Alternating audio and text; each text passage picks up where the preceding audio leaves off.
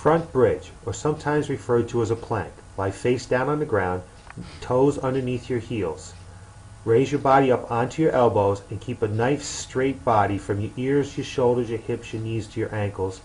Body should be nice and stiff, abs should be stiff, and make sure that you breathe throughout the exercise.